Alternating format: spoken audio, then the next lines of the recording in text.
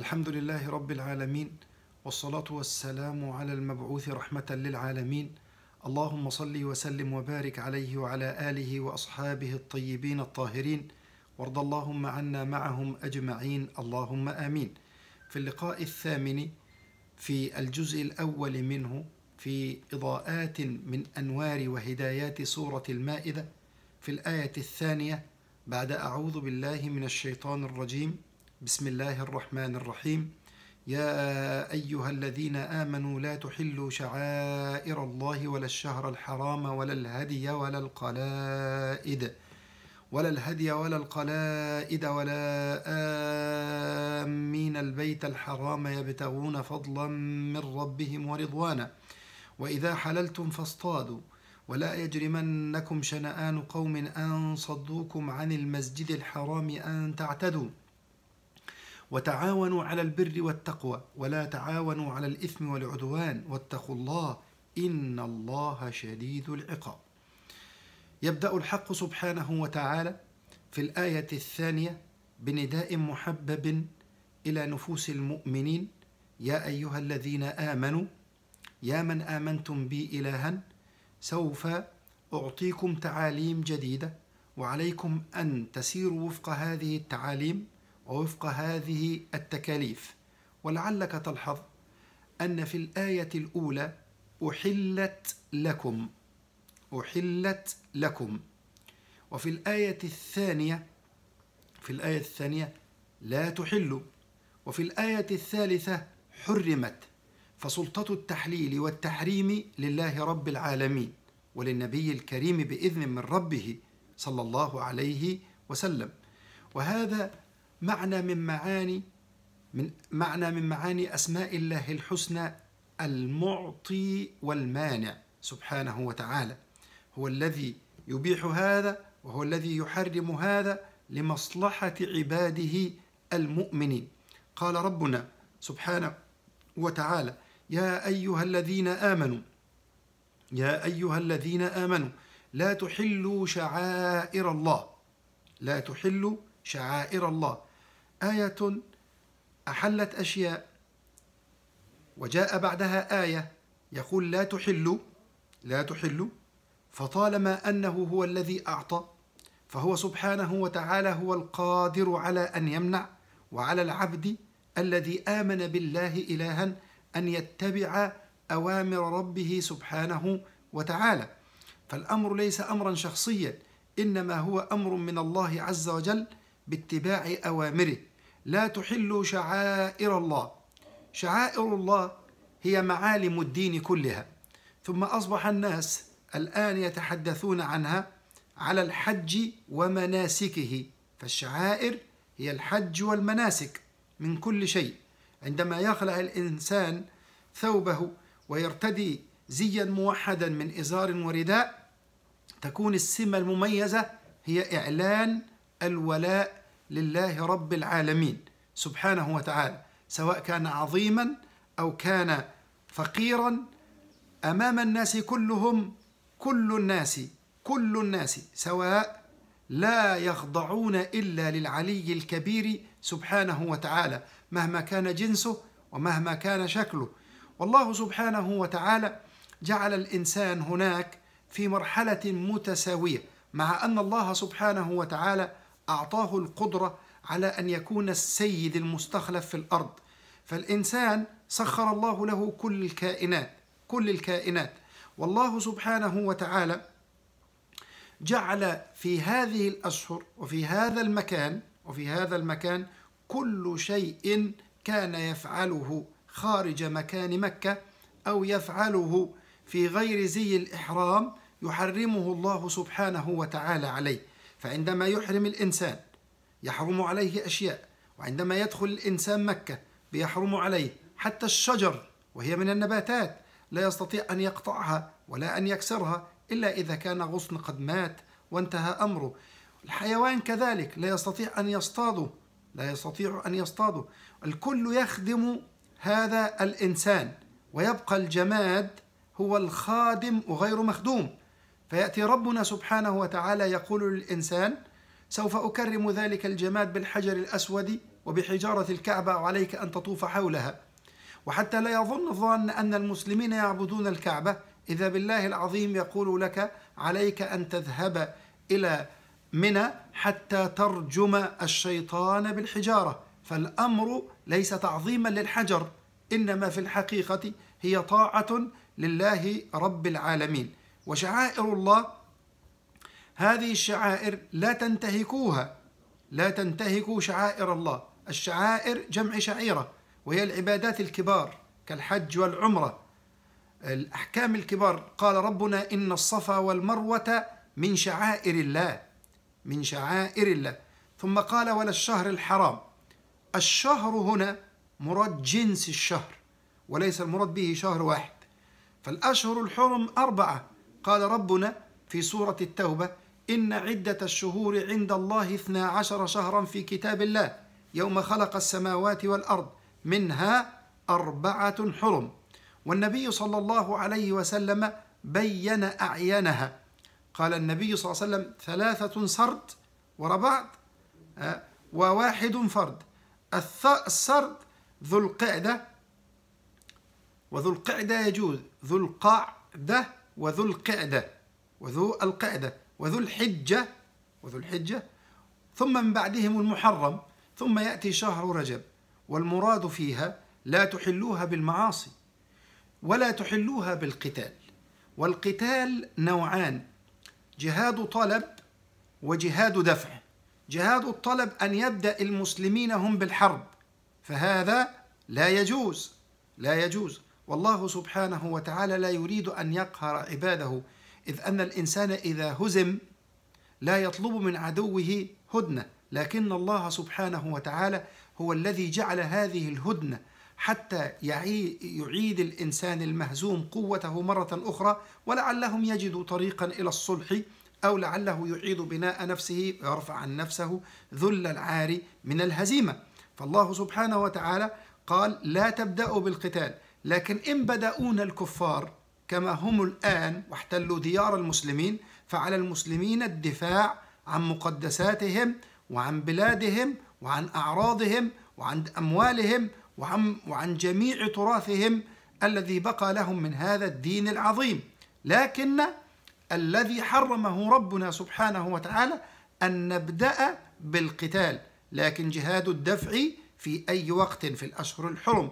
أو في غير الأشهر الحرم هو واجب على المسلمين ولا الهدي ولا الهدي. الهدي هو ما يهدى إلى الحرم من إبل أو بقر أو غنم. في الزمان القديم كانوا يفعلون ذلك. قبل اختراع بنك الرجحي تدفع أموال ويعطيك الكوبون أو الريسيت.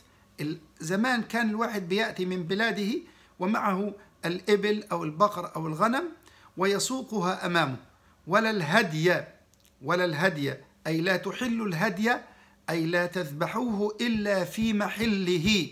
ومحله مكة محله مكة. لو أن إنسان ساق الهدي من ذو الحليفة الميقات مثلا ثم أراد أن يذبحه أو ينحره قبل الوصول إلى مكة هذا حرام لا يحل.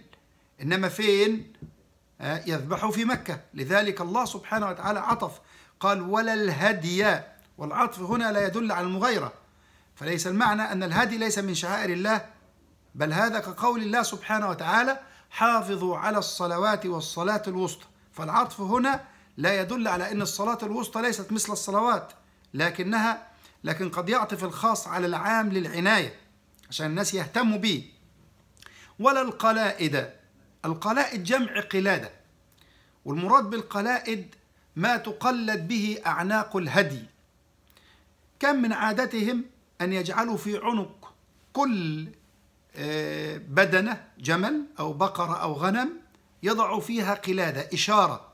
هذه الإشارة ربما يأخذونها من الأخشاب أو من لحاء الشجر أو غير ذلك أو النعال البالية آه، أو أطراف الأسقية ثم يربطونها في رقابها قلادة في رقابها حتى إذا رآها الناس فإذا شردت إذا رآها الناس عرفوا أن هذه لا تذبح إلا في مكة المكرمة.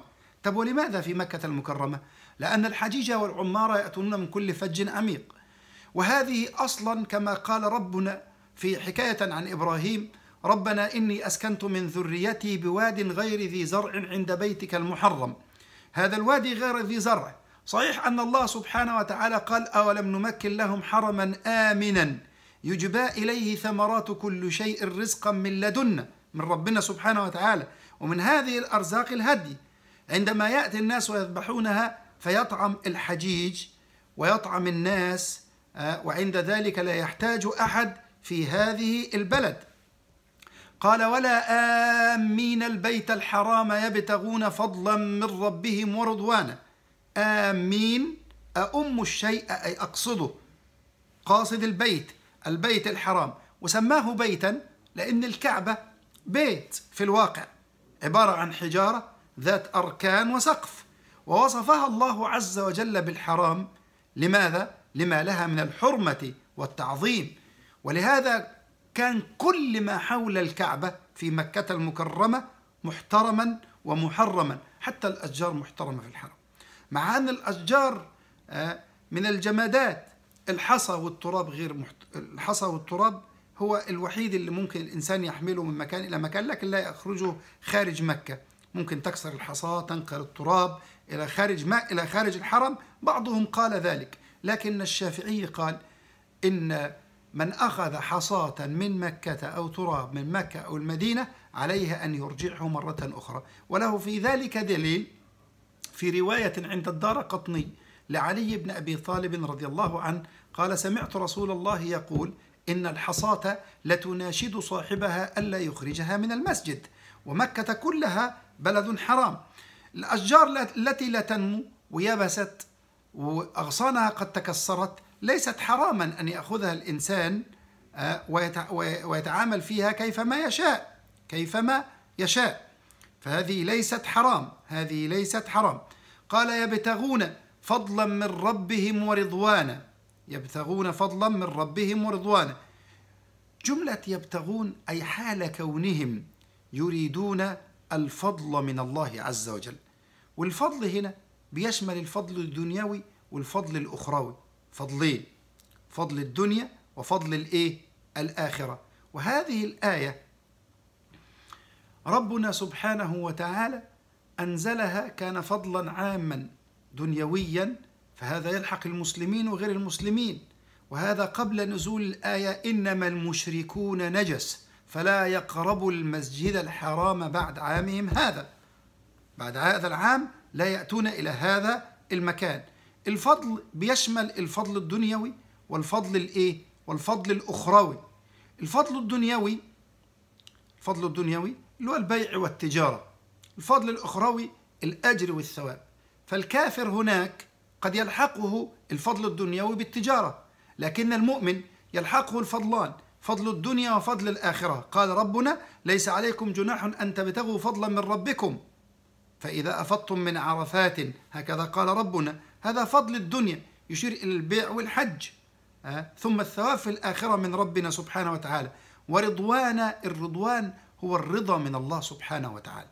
رضا من ربنا سبحانه وتعالى والرضا من الله عز وجل من ربهم أن يعطيه الله سبحانه وتعالى ما يرضي بهم نفوسهم ويرضون عن أقدار الله عز وجل ويسعدون في أخراهم. وهذا يعطيه الله لأنبيائه وأوليائه الصالحين. فمن أراد رضا الله سبحانه وتعالى فليرضى عن أقدار الله فيه. رضي الله عنهم ورضوا عنه. قال وإذا حللتم فاصطادوا أي من إحرامكم. اصطادوا.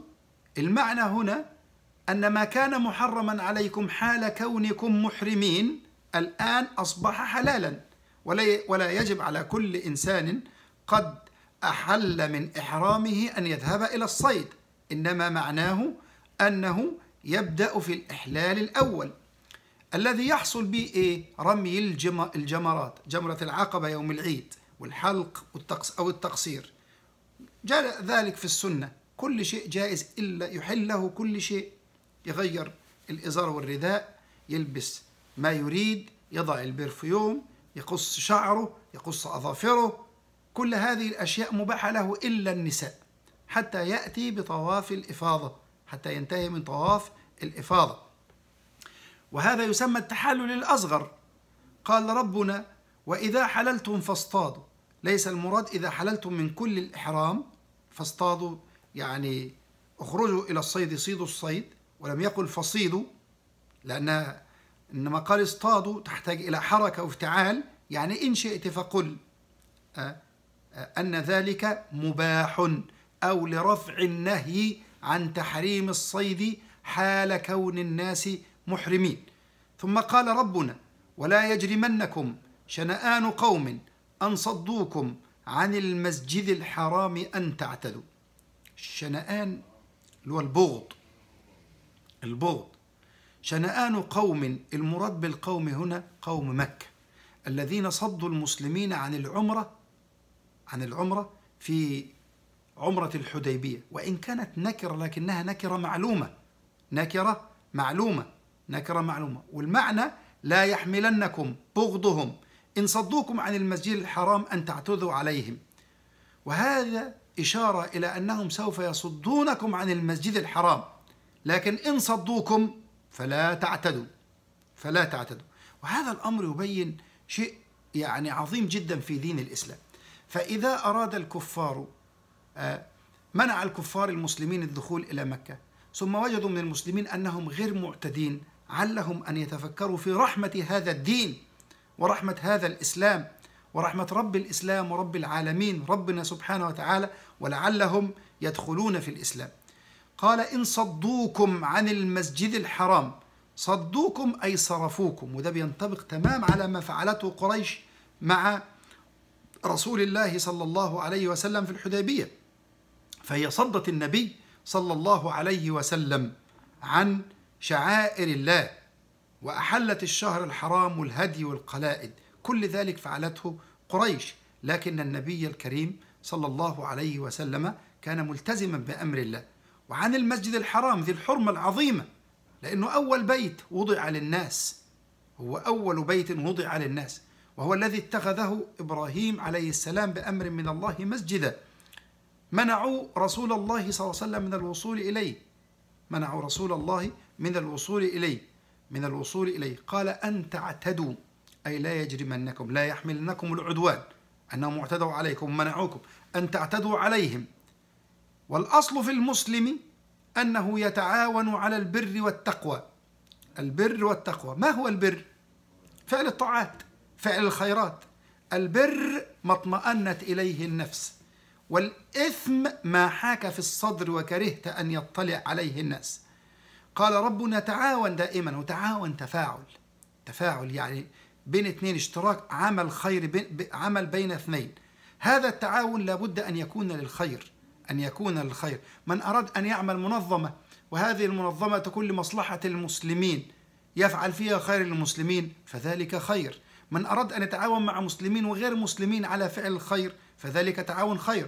أما التعاون على الشر التعاون على الشر فهذا لا يجوز. لا يصح للمسلم أن يعمل في منظمات التي تنصر الناس أو تكفر الناس أو تلغي الشريعة والإسلام أو تضر المسلمين كالماسونية والروتاري وغيرهم لا يصح للمسلم أن يكون كذلك. قال ربنا وتعاونوا على البر والتقوى والتقوى التقوى الخير كله الذي يوصلك إلى الله سبحانه وتعالى. ولا تعاونوا على الإثم والعدوان لا تتعاون على الإثم والعدوان. كل ما يتعلق بمعصية الله عز وجل بحق الله عز وجل اسمه معصية. الإثم هو المعاصي المتعلقة بحق الله والعدوان المعاصي المتعلقة بحق العباد بحق العباد. وربنا لما أفرد إحداهما عن الأخرى صارت شاملة لمعنى الأخرى.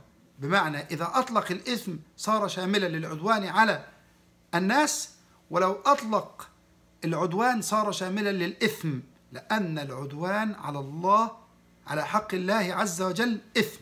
ثم قال ربنا بعدها واتقوا الله واتقوا الله. لما ذكر الأوامر والنواهي أمر بتقوى ربنا سبحانه وتعالى احذروا أن تخالفوه أو أن تقعوا في نهيه والتقوى فسرت بعدة تفاسير. أحسنها أن التقوى اتخاذ وقاية من عذاب الله بفعل أمره واجتناب نواهيه. وينقص من التقوى بقدر ما نقص من ذلك. فالإنسان الذي عنده معاصي ومآثم كثيرة لا تخرج لكنها لا تخرج من الإسلام نقول أن تقواه ناقصة. وكان الصحابة رضوان الله عليهم وبعض السلف الصالح إذا قيل له اتق الله ارتعد وربما سقط من مخافة الله عز وجل من مخافة الله عز وجل. والمؤمن الحق إذا قلت له اتق الله احمر وجهه. وخشع قلبه وخشع قلبه. هكذا المؤمن الحق. أما غير ذلك إذا قلت له اتق الله يقول ماذا فعلت؟ حتى تقول لي اتق الله. أنا لم أنتهك حرمات الله. أنا لم أنتهك حرمات الله. ثم جاء بعدها ربنا سبحانه وتعالى بقوله واتقوا الله إن الله شديد العقاب. إن الله شديد العقاب. إن الله شديد العقاب شدة العقاب قد تكون في الدنيا وقد تكون في الآخرة. قد تكون في الدنيا كبعض الذنوب كالعقوق. هذه ذنوب يعاقب الإنسان عليها في الدنيا. وكذلك من شدة العقاب الذي يراه العبد في الدنيا الظلم. فالظلم ظلمات في الدنيا وفي الآخرة. في الدنيا وفي الآخرة. لذلك حذر ربنا سبحانه وتعالى عباده المؤمنين.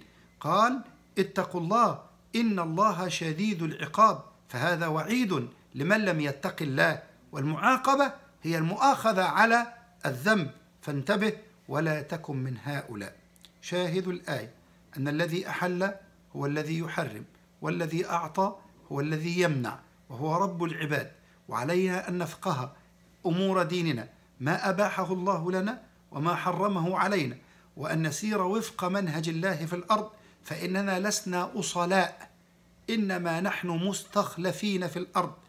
مستخلفين لإله عظيم قد خلقنا وعلينا أن نسير وفق المنهج الحكيم الذي أعطاه لنا إذ أنه سبحانه يقول في القرآن ألا يعلم من خلق؟ وهو اللطيف الخبير. وصلى اللهم وسلم وبارك على نبينا محمد وعلى آله وصحبه وسلم تسليما كثيرا.